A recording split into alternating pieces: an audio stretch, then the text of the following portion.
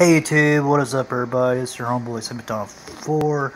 I am here with another exclusive workout. I am doing a wooden dummy video and I'm doing freestyle of karate, boxing, and taekwondo, even a little bit of Wing Chun into it. Um, I, I used the Wing Chun parody most of the time in, in most of my attacking situations. Um, I don't really use not, barely hardly any karate blocks, but I use most of a lot of kung fu blocking um, in on the wooden dummy. But I use a lot of karate striking and boxing striking and a lot of taekwondo tactics. Um, basically, it's freestyle. I mean anything goes, palm strikes, elbows. I do the elbows for real. I slow it down on the elbows because, like I said, I don't want to end up, you know, like hurting myself on the wooden dummy. You know, I'm not really trying to kill the wooden dummy. I'm not really trying to kill kill the wooden dummy or anything like that. Wooden dummy is a practice tool to train on. Um, yes, the wooden dummy is for hardening the body. It's hardening the limbs. Um, that's what Shaolin warriors use. That's even what people use when they don't have a partner to train with.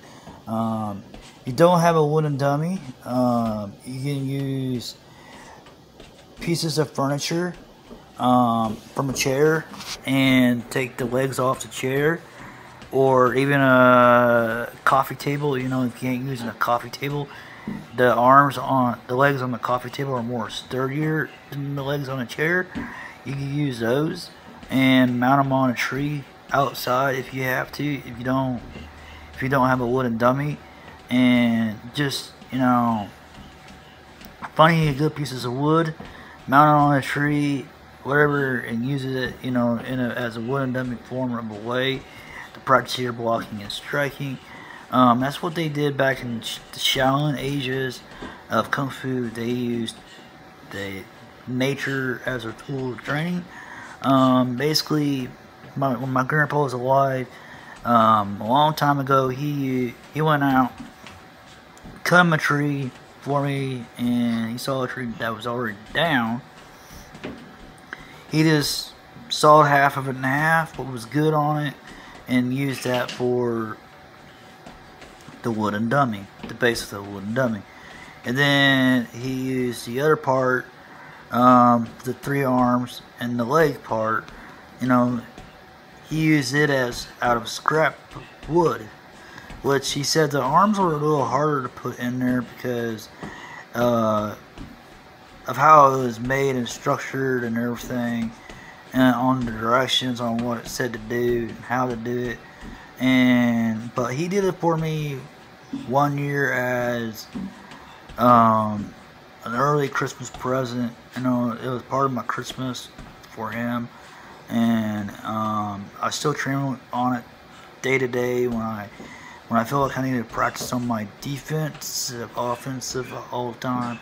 Um, that's what the wooden dummy is for. It's basically for helping you to counter punches, to counter kicking, to be able to learn to attack and counter at the same time.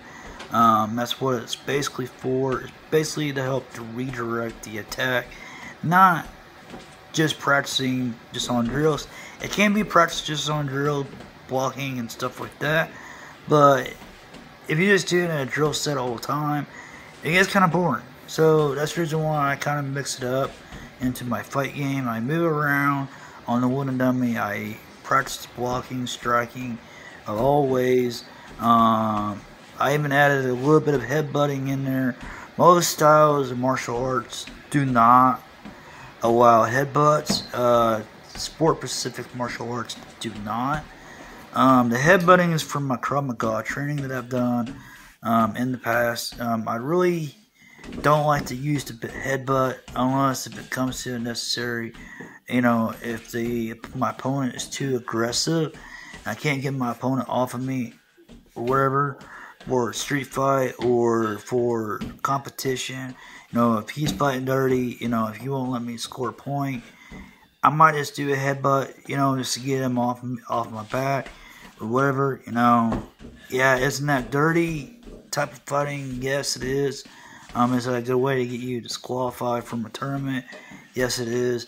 Um, but if the other person's fighting dirty, if the ref ain't seeing his calls uh, on what he's doing, then yes, you gotta fight dirty back to prove a point, even if it means he had a point deducted on you.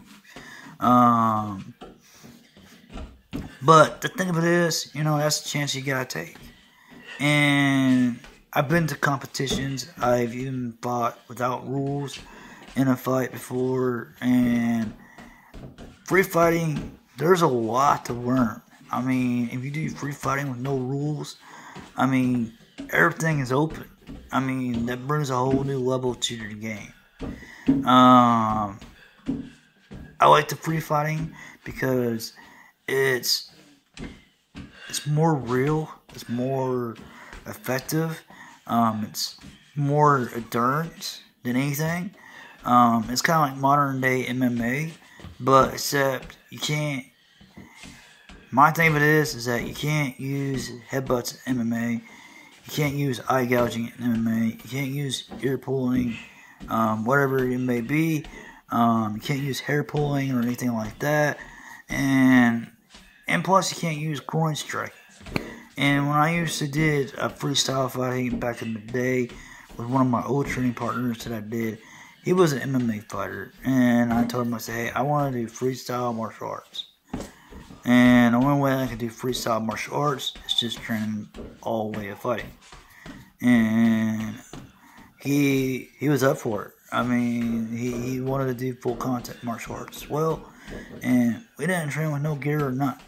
We just did all out fighting, and we did kind of like how Fight Club did in the movie. You know, on you know, there is no rule in Fight Club, and I was going by like the Brad Pitt thing in Fight Club at the time, and I just didn't want to be set by rules from tournaments, and because you know, reason why I was training free fighting at the time with him was because I wanted to be able to take a punch to the face.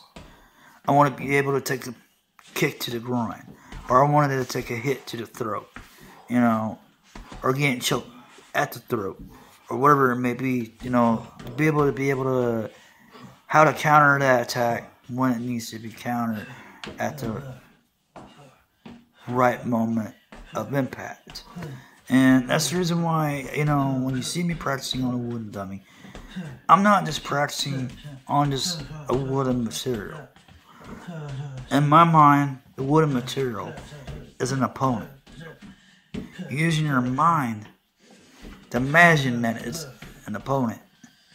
Using your mind, your body, and you're moving around on the target, you know, to each angle, be it on the side, be it on the other side, being in the front, standing square, standing off into the angle side, um, maneuvering around your opponent. You're never standing still in a fight. Um, you're never doing techniques slow in a fight. Um, but it's always fast paced. But when you're practicing on the wooden dummy, always take it slow for the first time. Never go all out. You know, like you see in the videos on YouTube. You know, they you see people do it really, really fast. You know, that's a good way of getting yourself hurt. Uh, like how they do it in the videos and everything. Um, the way they do it, they're just trying to show off. Um, me, I'm not trying to show off. Mine is more of traditional based martial arts. Um, it's not really too tactical. It's basically simple, direct, um, the Bruce Lee approach, and um, simple simplicity is the best way of the non the non classical move. You know, as Ms. Miyoto Musashi would say, you know, if you don't have a school or a clone to practice, you can always learn martial arts on your own. And since I quit going to academy, I'm doing it to be a, the Miyamoto Musashi's teaching out of the Book of Five Rings. You know, if you get it, order it on Amazon for like I want to say 15.95 or 12.95, however much the book is. Uh, good book. It's called A Book of Five Rings. Um, if you want to be a warrior, a true warrior, add that to your collection. Um, another good book to get is The Art of War by Sun Tzu's. And um, another one would be Confucius by Lao Tzu's and um, those are like kind of like war tactic books in a way.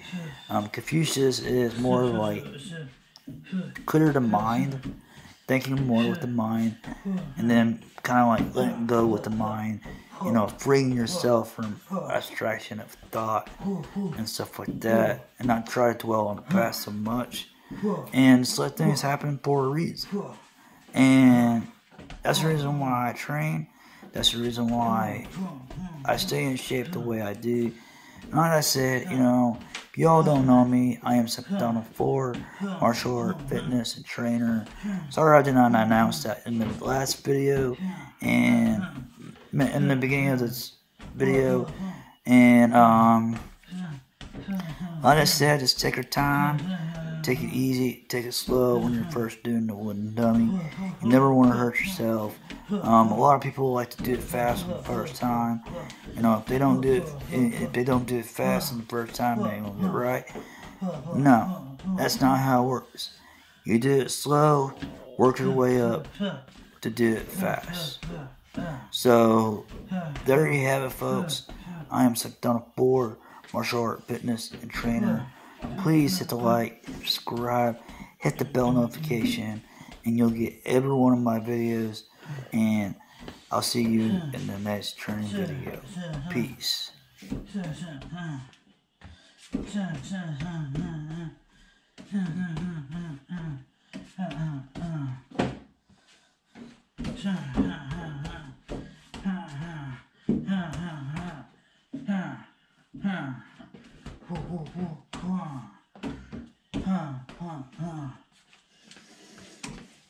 Yeah.